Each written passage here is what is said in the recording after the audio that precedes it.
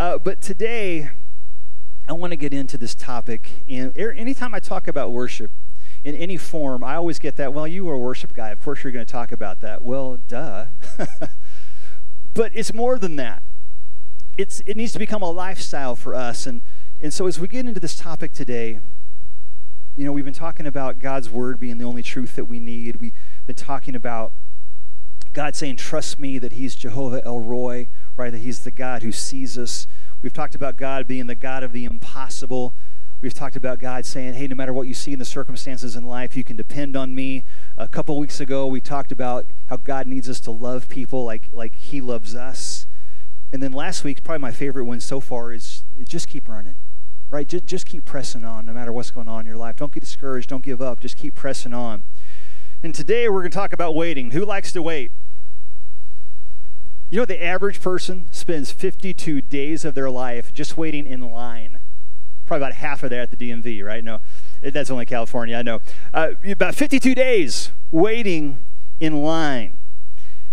At one point in Russia, when McDonald's opened, 30,000 people stood in line for over eight hours to get their first Big Mac. Yeah, I wouldn't do that, right? Here's my favorite one, though and not because of the, the, the topic, but it's just amazing to me. A Beatles concert here in the United States. Everybody heard of the Beatles? All right, just checking. A, a Beatles concert had a one mile line. Now, just to put that in perspective, that is from here to 111. A one mile line just to buy tickets at the box office 90 hours before the box office even opened. What if people stood in line like that for church? Depends what we're hungry for, right? But here's my favorite story in my studies this week. In 2012, there was a man who called customer service for uh, Qantas Airways or Qantas Airlines. It's the, you know, the main Australian uh, airline. And he was put on hold and he was told, quote, please hold for the next available representative. Someone will be with you shortly. His name was Andrew Kahn, and he said he was calling the airline uh, just to confirm that his flight details were right. And he knew the hours and all that. I guess he wasn't checking all that on his phone at that point. So he calls the airline at 7:22 p.m. on a Wednesday evening, thinking that you know the wait would be shorter because it's nighttime. And he says when it got to over three hours, that was the point I decided, okay, let's see how far this thing goes. So he starts at 7:22 p.m. on a Wednesday evening, and finally at 11:01 a.m. Thursday morning, 15 hours, 40 minutes, and one second later, his line was disconnected. He said during his wait, he surfed the internet, he slept, he caught up on some reading, and he never obviously did speak to anyone on that call. Now, he says he called them back and got someone right away that he was caught in some kind of glitch, but you know, who knows? Sometimes waiting on God can feel just like that. Right? How many of you don't answer this out loud? Just think about it. How many of you have been waiting on God for a while now? wondering when God's going to show up, when God's going to do what you've asked Him or what He's promised to do. And sometimes it's just not the right timing because God knows something that we don't, right? But because of that, we end up doing what? Waiting. Now, waiting isn't fun, waiting is often difficult. Especially if we're in need, or as I've learned in my life, that I'm usually not in need, I'm more in want than I am in need. But it's no fun when we're waiting. In fact, those of you that are parents, every kid who is of age has asked you that famous question from the back seat of the car Are you, we? Because they're sick of what? Waiting. Right? No one likes to wait. Because if we were in control, we'd do things differently, wouldn't we? Right? If the world was left up to us, everything would be perfect. Because we would solve all the world's problems, just do it like I tell you, and then there's not going to be any, any kind of problem. But waiting is part of life. And I believe that waiting can be when we spiritually grow the most. I don't believe we grow so much spiritually in the good times. I believe, not that we can't, we do, but I believe we grow the most when we're waiting on God to come through, when we're waiting on something to happen. David was anointed king. but he had to wait 22 years to actually become king over all of Israel. Right? Joseph had to work as a slave, and then he got demoted to prison and had to wait. Job, we've talked about him before. Job had to wait through unimaginable suffering. And even if you think about the disciples, boy, after Jesus is gone, they had to wait in the upper room until God said that it was time for the promise of the Father. But there's a key in each one of those stories as we jump into this today. See, David had to wait because God knew he wasn't ready yet. Remember, he was anointed as a kid. And then there was this period of maturity that had to happen. And even when he did become king, he didn't become king of all Israel. That didn't happen for another, I think it was seven years, some Bible scholar can correct me, after he became king of, of the other tribes. Because God knew he wasn't ready yet. It, it was about David maturing and David growing up. Right now, Joseph had to wait because God knew that it wasn't time yet, and it was about others, right? The famine wasn't in full swing yet. It wasn't yet the, the right apex of conditions. And so God had Joseph waiting because it just wasn't the right time for the benefit of those that were around him. When you think about Job, why did Job have to wait? We read it really fast, but it, it went on for a while there. Well, Job had to wait because his life became a demonstration of God's glory, which we've been talking about today, and faithfulness. Because when you think about suffering, who's the one person in the Bible you think about? Job. He became the quintessential example of, of God coming through after in terrible loss. Now, the disciples in the upper room, they had to wait. The Bible tells us very clearly why they had to wait. They had to wait until there was unity in the house. Right? It says, and when they were all in one accord, in one place, then the Spirit fell.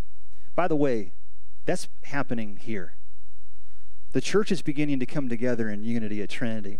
It's one of the reasons I hated going to two services for this, but I knew we had to for a period of time because there, there was something happening in the unity of the church as we all came together. And I believe it's continuing to happen because God's not limited by those things. But I'm just saying, get ready because God's going to do something because we're, we're coming together. So here's what I'm learning though it's not just enough to wait, right? How many of you wait, but you wait angrily? right? You pull up to whatever your favorite fast food place is, and there's like 27 cars there. And you're just like, oh, man. how many of you got out of line because you didn't want to wait, right? Because it was too long, especially depending on where the place is. It's not enough just to wait. It's while we what we do while we're waiting that matters. I'm going to say that again. It's not just enough to wait. It's what we do while we're waiting that matters. And I hear God today saying, What did I say? He said, I'm telling you to learn to worship me while you're waiting. Now, what does worship look like? We're going to get into that here for a minute. You know what David and Joseph and Job had in common when you read their stories in Scripture? They were worshipers. About every single one of those men, it was said that they got up early and they worshiped the Lord. Another interesting commonality really between them is they, they never blamed God for their circumstances. They trusted Him, they honored Him, they worshiped Him no matter the situation. Now, those are great examples, but for me personally, the one that stands out in Scripture is this guy named Abraham. You ever heard of him? We're going to read several, or a long passage today about Abraham. We're going to be in Genesis chapter 22 to me, he's the most amazing example on this topic of, of, waiting because he had already waited a hundred years, right, for his promise to show up. So he waits a hundred years, and then Isaac finally arrives, and then now several years later, right, Isaac is growing to, to maturity. He's being asked, Abraham is, to do the impossible. And let's just take a few minutes and let's read from Genesis 22. Sometimes I read just a few verses, but I think we need the whole context here. So bear with me for a minute. Genesis 22, starting at verse 1. And this first verse alone may cause some of you some theological struggle. God tested Abraham's faith. Abraham, God called. Yes, he replied. Here I am. Take your son, your only son. Yes, Isaac now, why did he have to clarify? Because Abraham actually had another son, but he wasn't the son of the promise. And at that moment, I can hear Abraham almost negotiating with God. You mean Ishmael, right? And God's like, Nope. And you knew that, Abraham, before you even asked. But he says to him, Yes, Isaac, whom you love so much, and go to the land of Moriah. Go and sacrifice him as a burnt offering on one of the mountains, which I will show you. I, I have tried, I can't even fathom what emotions ran through Abraham's mind at that moment. Because all we see is what happens the next morning. I doubt Abraham slept that night. I, I doubt that he immediately made peace with this. I imagine that his faith went through all kinds of mental gymnastics during those next several hours. But in the end, he knew he was left with one choice obedience. So the next morning, Abraham got up early. He saddled his donkey and took two of his servants with him, along with his son Isaac. Then he chopped wood for a fire for a burnt offering and set out for the place God had told him about. My mind wanders. Do you think he told Sarah? I'm thinking no.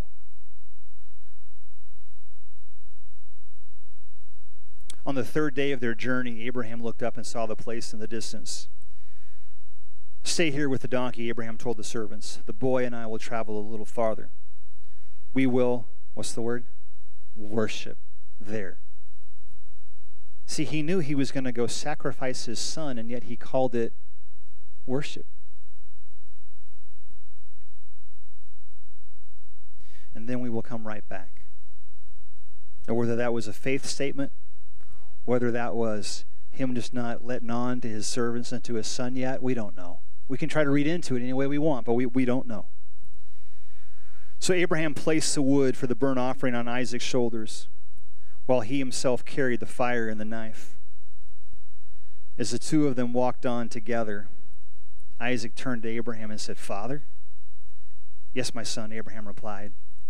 We have the fire and the wood, the boy said, but where is the sheep for the burnt offering? God will provide a sheep for the burnt offering, my son. They both walked on together. When they arrived at the place where God had told him to go, Abraham built an altar and arranged the wood on it. Then he tied his son Isaac. Of this entire story, probably this verse gets me the most that Abraham would willingly tie his son up and that his son would willingly allow himself to be tied. There's a lot that had to happen right here. And he tied his son Isaac and laid him on the altar on top of the wood. And Abraham picked up the knife to kill his son as a sacrifice, or as we saw in the earlier verse, as an act of worship. At that moment, the angel of the Lord called to him from heaven Abraham, Abraham. Yes, Abraham replied, Here I am. Which is the same thing he said at the start of this journey God, here I am. Verse 12 Don't lay a hand on the boy, the angel said. Do not hurt him in any way, for now I know that you truly fear God. And if you study that out, what it really means is now you know that you truly fear God. You have not withheld from me even your son, your only son. Then Abraham looked up and saw a ram caught by its horns in a thicket. So he took the ram and sacrificed it as a burnt offering in place of his son. And Abraham named the place, what we would say today, Jehovah Jireh, which means the Lord will provide. To this day, people still use that name as a proverb. On the mountain of the Lord it will be provided. Then the angel of the Lord called again to Abraham from heaven. This is what the Lord says. And here's the catch because you have obeyed me. See, sometimes obedience is a form of worship. Because you've obeyed me and have not withheld even your son, your only son, I swear by my own name that I will certainly bless you. I will multiply your descendants beyond number, like the stars in the sky and the sand on the seashore. Your descendants will conquer the cities of their enemies, and through your descendants, all the nations of the earth will be blessed.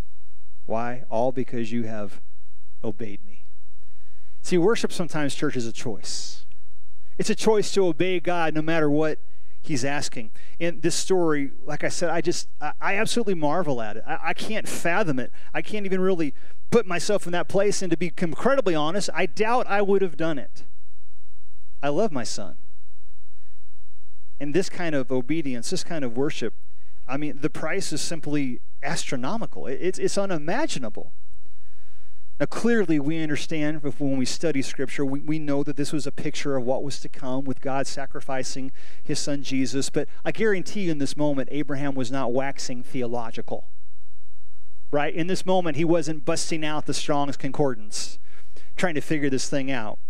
At this point, he was incredibly struggling with what to do, and yet made a choice to worship God through his obedience. He chose to worship while he was waiting for God to provide something else. And we're going to see in Hebrews in a minute what was going through Abraham's mind. But Abraham shows us that worship can manifest itself in, in many ways. And to be clear, when we say worship, we're not just talking about whether you clap your hands in worship or raise your hands in worship. That's an expression of worship, but it's just it's a minuscule part of it. In fact, I would dare say that if you're worshiping in here like this, but not worshiping God when you go out there with your life, God's not really pleased with your worship in here right? Because worship is a lifestyle. Worship, worship is how we live our lives. It's not just the expression on a Sunday morning corporately. Worship is living my life in such a way that everything I say and do brings honor and glory to God. See, this means worship isn't really about music or anything like that. Worship is about obedience. It's saying and doing what the Word of God and what the Holy Spirit speaks to us. In Hebrews chapter 6, it's talking about this situation that we just read about.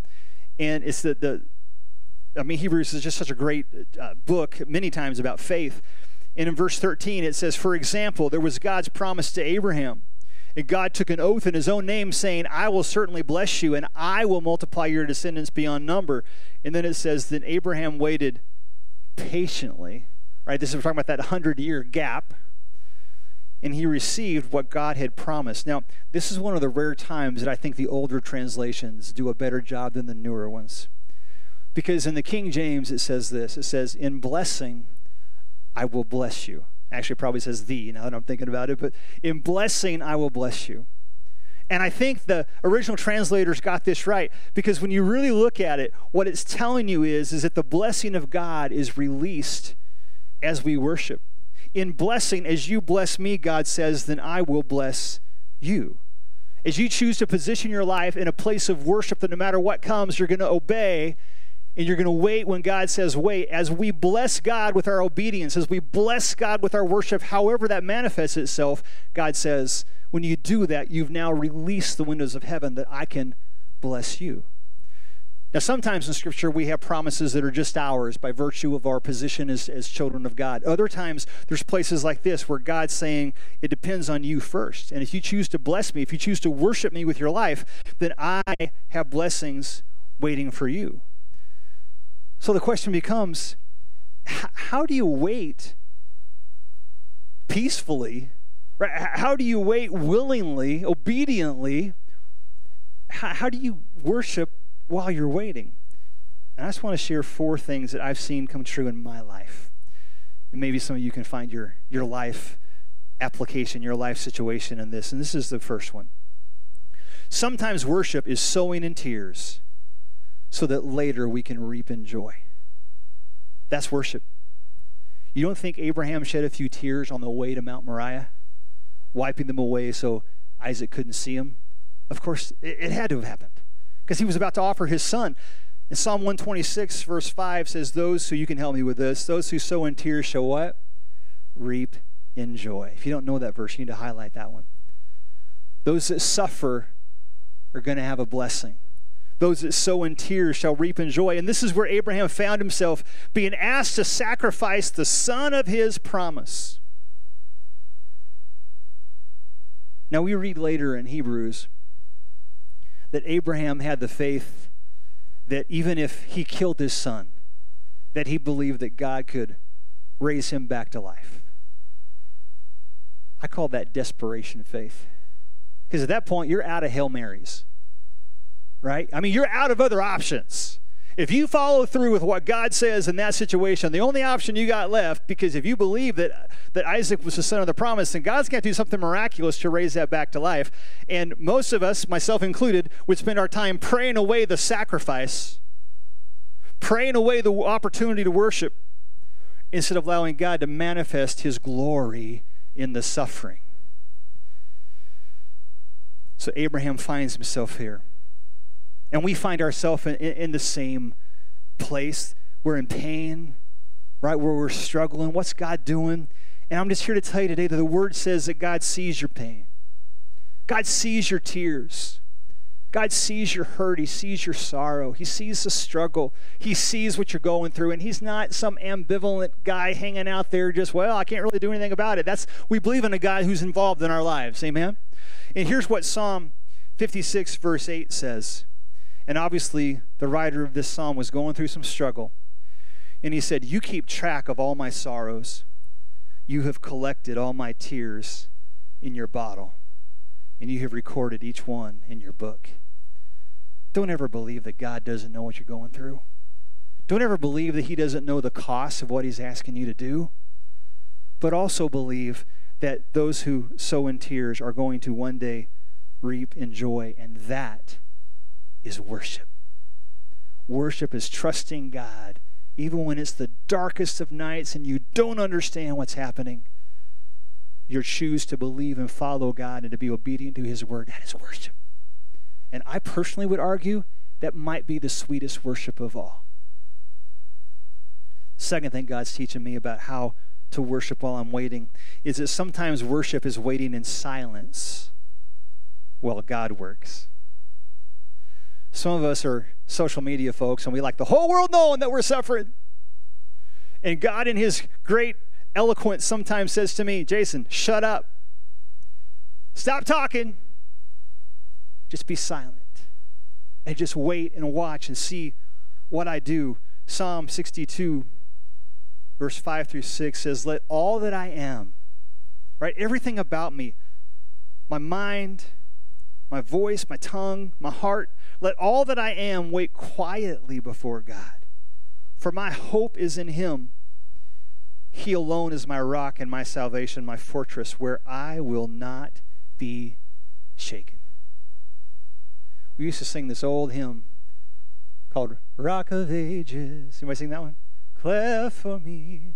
Let me hide myself in thee. Anchor yourself to the rock. He's the only thing that's going to get you through. It's not your bank account or you know your status or I mean any of that stuff. None of that is rock solid. You can lose it in a moment. What you'll never lose is your ability to be anchored to the rock no matter what's going on in your life. And can I tell you that sometimes the best faith is the faith that doesn't have to say anything at all because you're waiting quietly, knowing that somehow, some way, God's going to do what He promised and God's going to come through. It's kind of like that verse about fasting when Jesus is rebuking the Pharisees. And He tells them, He says, You know, stop looking like you're fasting when you're fasting. Right? He says, Comb your hair, wash your face, and just go about your day like normal. He says, Otherwise, you've already got the blessing you're going to get. That, that little bit that people like, Oh, he's a faster. He says, No, no, just go through your day like everything's okay. And I'm not saying we don't bear each other's burdens and we don't pray together. That's not what I'm saying here today. I'm saying that sometimes you need to just grow up a little bit and trust God that He is who He says He is. Wash your face, comb your hair. By the way, had somebody ask me, Pastor, what's up with the facial hair? Um, this is vacation laziness at this point. I haven't decided if I'm keeping it yet, so you're free to vote. You can let me know what you think. All right. Right? Sometimes you just got to just get yourself together with the help of the Holy Spirit and go about your day and wait silently for the Holy Spirit to show up in His timing to do what He's going to do. Because complaining about it is not going to do anything. I guarantee you that's not worshiping. Sometimes worship, sometimes faith is saying nothing at all. So spend your energy in worship, not in worrying. Third thing God's teaching me is that sometimes worship is choosing to remember, and I maybe even say always, worship is choosing to remember God's faithfulness. God is so faithful. Deuteronomy 7 9 says, The Lord your God is indeed God. He is the faithful God who keeps his covenant for a thousand generations and lavishes his unfailing love on those who love him and obey his commands. You ever read this line about a thousand generations in the Bible before? Well, if you do the math, and I'm not trying to tell you where to fall on the new earth, young earth, old earth, and uh, all of that, how old mankind is. But if you believe the Bible, right, and you count mankind's lineage back, you get somewhere between like 4,000 and 4,200, 4,300 years, somewhere in there that mankind has been on the earth. All right? Now, depending on what generation you use, now at this point in Scripture, if I remember correctly, uh, a, a, a lifetime was 120 years, right? So they estimate that at that point, a generation was about every 30 to 40 years.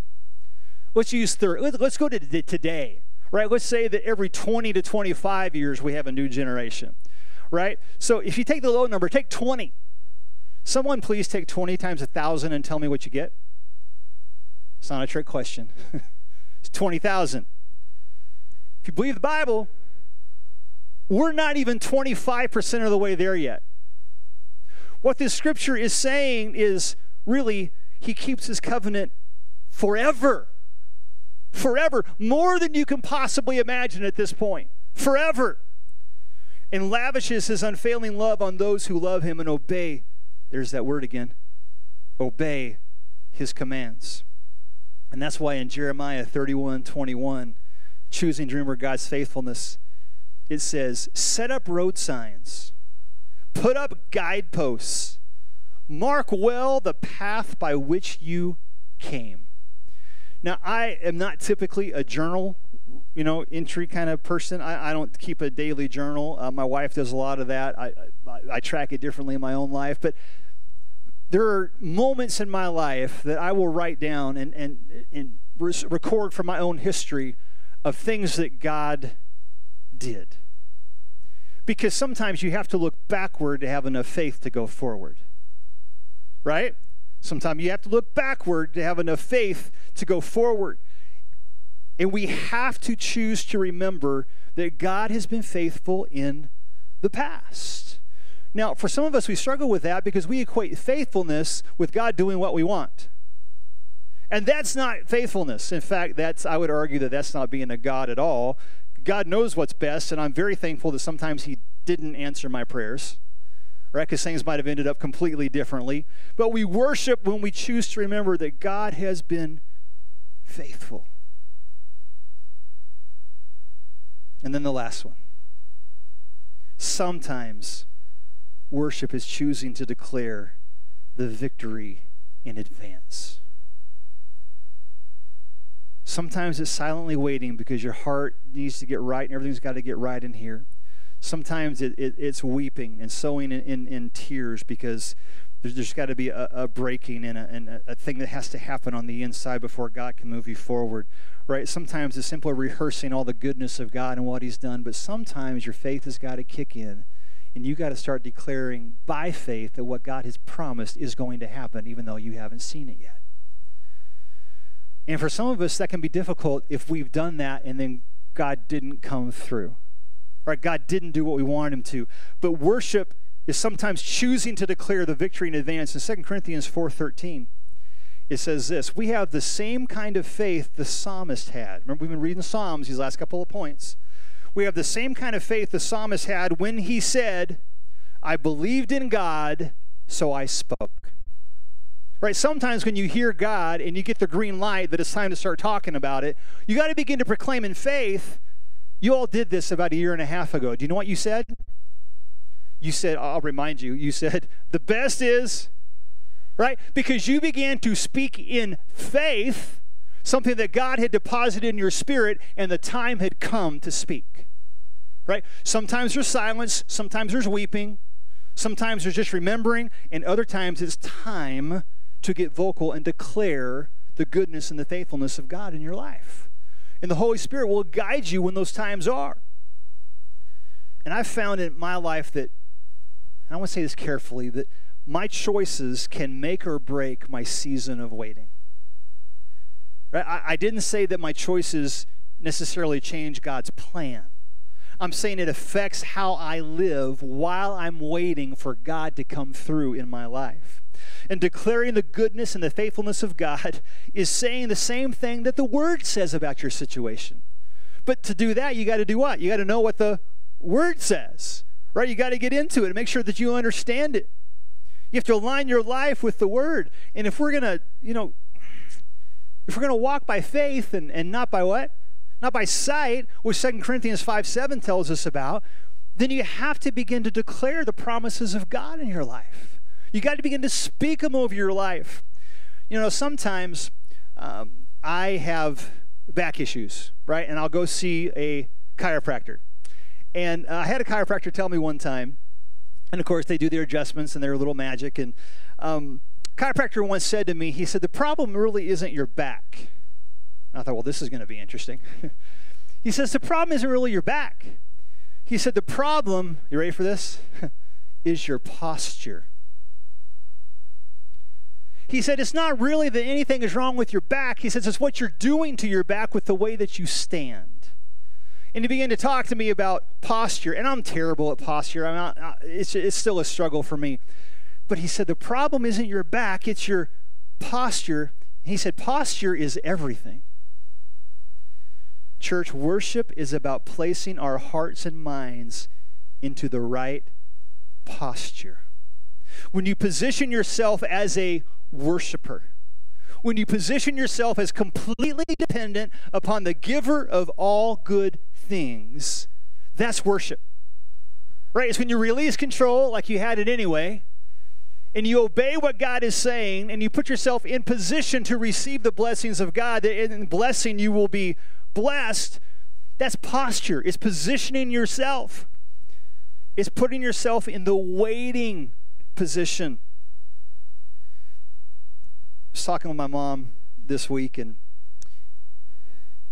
we were talking about last week's message actually about talking about you know keep pressing on and she reminded me of, a, of an old song that my that my grandmother used to sing i didn't know that for years i just heard my parents sing them only to find out that it had been passed down from generation to generation and we, it just made me think about this message and, and, posture and positioning myself as a lifestyle of worship. And for me, a lot of things does revolve around music. That's just the way God's wired me. But the song spoke so much to my to my heart when my mom reminded me of it. And some of you old timers uh, probably know this song. It goes like this: "It will be worth it all." Anybody know that song? When we see Jesus Life's trials will seem so small when we see Christ. Am I alone? Anybody else know that one? Is that like a West Coast song? One glimpse of his dear face, and all sorrow will erase. So bravely run the race till we see Christ. And when my mom said that, I remembered hear my grandmother sing that song. Church, it will be worth it all. The suffering that you're going through now is just positioning yourself for God's glory to be revealed in your life to other people. We got to choose to worship while we're waiting. We can't moan, we can't complain, we can't, I mean, we can. It doesn't do anything for us right? But we, we got to just keep our eyes on Jesus. And it sounds like now I'm repreaching last week's message, but you just got to keep your eyes on Jesus. You got to worship while you're waiting what's going on. And that's through obedience, through your words, through all these things that happen in life. Your entire life was made to worship God. I wore this shirt today. I once wore a different one. I have a, I have a shirt that says, made to worship because I believe that's why we were created relationship, worship with Jesus. This one says, just keep praising. Right? Just keep worshiping. No matter what's going on, position yourself to worship God no matter what. Sheldon, you guys come on. A little more recent song. God speaks to me in lyrics sometimes. There was a, uh, a movie several years ago called Fireproof. Some of you may have seen it. Had a song in there by a guy named John Waller. And the song was literally called While I'm Waiting. And there's this line toward the end of it that I, it's always stuck in my head. It says, And I will move ahead bold and confident, Now, if you know the story in the movie, he didn't know what was going to happen. He was talking about moving bold and confidently ahead into what God had called him to do. He wasn't promised an outcome. In this situation, it was loving his wife and trying to restore the relationship. But then the next line says, taking every step in obedience. Church worship is obeying and doing what God has called you and is speaking to your heart. Even in the darkest times, even when you're weeping, even when nothing seems to make sense, worship. Job worshiped God in the middle of the mess, right? So did David, so did Joseph, so did everyone that we talked about today. They worshiped God in the middle of what was going on without expectation of anything other than seeing the glory of God revealed in their life. So I want to encourage you today, and we're done. I want to encourage you today to stop focusing on what you need. God already knows that. God already knows what you need. It's not like our prayer time is to remind God. He's like, oh, I'm so glad you mentioned that. I forget. Here, hold on, let me get a pen. Right? He already knows. Worship is about turning our focus on Jesus while we're waiting on God to come through and listening to the voice of the Holy Spirit. And if He speaks, we obey. Otherwise, we just worship Him with our lives because He is worthy of all the praise that we could possibly ever give Him. So, what do you do when stuff's a mess in your life? You worship. You worship with your life, not just on a Sunday morning. It's a good time to do it, but you worship with your life and the things that you do, the things that you say, the things you choose to be involved in, the things you choose to be silent about, because that is all worship that God is paying attention to. So, my challenge to you today is simply this. You guys go ahead and stand with us today. I just want to encourage you, and I know it's so easy to say, forget about your problems. I don't know that that's legitimate. I don't know that you can forget about your problems. I do believe you can put them in their rightful place and turn your focus on Jesus. Father, as we pray today in this room, and we're going to sing together and cement this word in our hearts. God, life is hard. You said that it was. Stuff happens. And it's so tempting, God, to keep our eyes on the problem and try to solve it ourselves instead of just releasing control to you and worship you while we're waiting on you to come through. God, sometimes that waiting is in tears, but you count every single one of them. God, sometimes that worship is in silence because we know you've spoken and we're holding on to the word, regardless what anybody else says around us. We're holding on to it in silence because we know you've been faithful in the past. And we look to the past to remind us of your faithfulness in the future. Sometimes it means looking backward to go forward. So, God, I pray right now for everyone in this room. God, we're all going through stuff. We all have circumstances family, finances, health. God, it's so many different things. But you know and you see all. And help us to turn our attention to you and to worship you with our entire beings, with our entire life, while we're waiting on you to come through and to reveal the glory of God in us and through us. God, would you do that for us today? In Jesus' name we pray. Amen.